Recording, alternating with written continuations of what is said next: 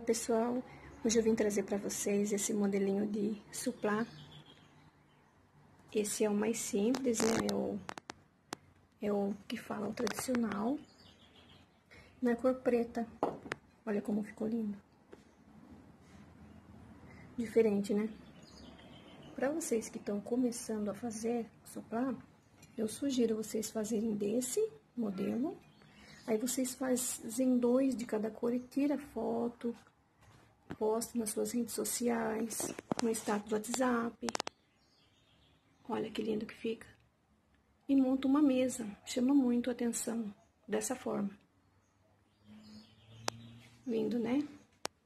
Então, ele é o mais simples que tem e muito fácil de fazer. Tem muita artesã que ensina no canal a fazer esse suplá. Aí depois você monta uma mesa. Aí você faz de duas cores, para a pessoa ter a noção de como ficaria na mesa dela. Lindo, né? Tá aí, pessoal. Espero que vocês tenham gostado dessa dica. Beijos, fiquem com Deus.